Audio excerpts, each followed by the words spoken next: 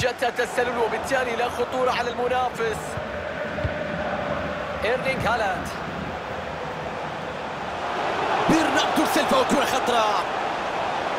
الفرصة ما زالت قائمة.